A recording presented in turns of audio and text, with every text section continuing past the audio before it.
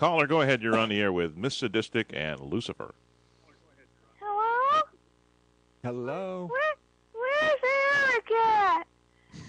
Eric, Eric is in heaven. We killed him. Eric's in heaven. His he blew his colon out, and he's in heaven now.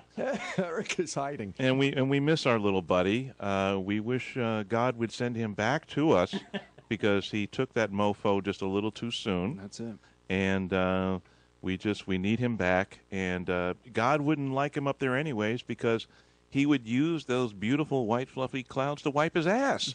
so uh, so listen, God, if you're listening, bring Eric back to us. Oh, I- I'm gonna miss his kindness and his quirky sense of humor, and I'm gonna miss him showing me his penis on the webcam.